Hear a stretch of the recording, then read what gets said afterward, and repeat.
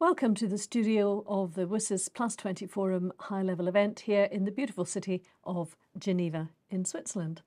I'm joined today by Minister Emilija Stojmenova Duh, who is the outgoing chair of WSIS Plus 20 Forum.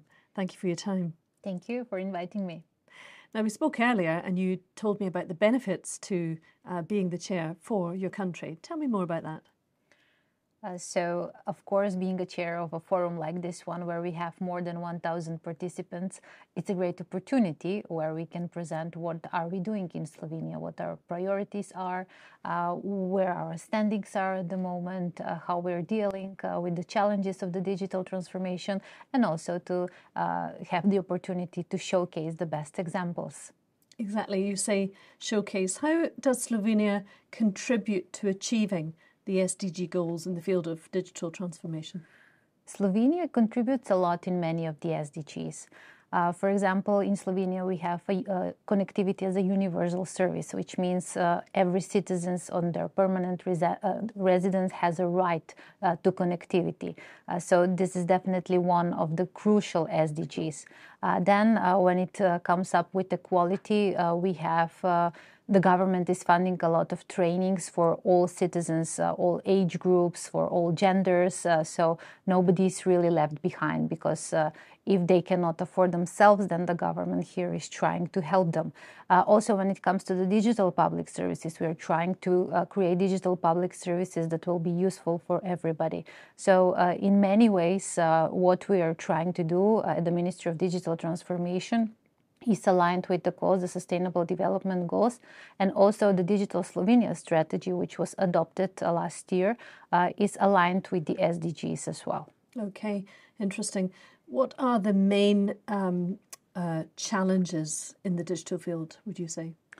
So in Slovenia, we are very proud that 94% uh, of our households already have access uh, to high-speed connectivity, which is excellent, and uh, it's not the case in rest of the world. Our biggest challenge are the digital skills and competences. Uh, it's less than half of our population has at least basic digital skills and competences, and uh, we lack uh, a huge number of ICT experts. And this is something that we need to work on in the future years. Uh, we need more experts in artificial intelligence, in Internet of Things, uh, data analytics, and so on and so on.